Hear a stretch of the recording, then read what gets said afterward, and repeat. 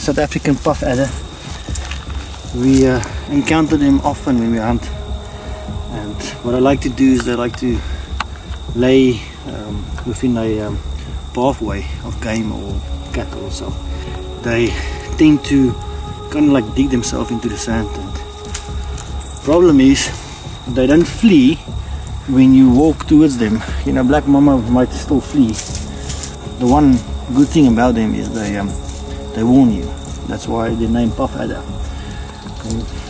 Do a little puff just before you step on them, like kind of like that. And then uh, this guy, I guess, is is ready for the winter. He's now on the brink of winter. It looks a little lazy to me.